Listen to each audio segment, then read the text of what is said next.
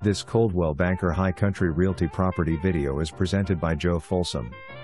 Enjoy pristine mountain living nestled on this large 3 plus acre wooded lot in gated community with access to Carter's Lake, community parks, streams and huge pavilion with running slash hiking track. This lot is the result of combining three smaller lots to allow you to build in the middle providing privacy on each side. Only minutes from town. Underground utilities include power, county water, high-speed internet, phone and cable TV. For more information, review the details below.